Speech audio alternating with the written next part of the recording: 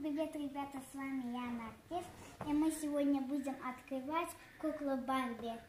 Э, это мама Барби, это ее дочка, это стулья, это их платье, это ролики, а это каска. А сейчас можем открывать.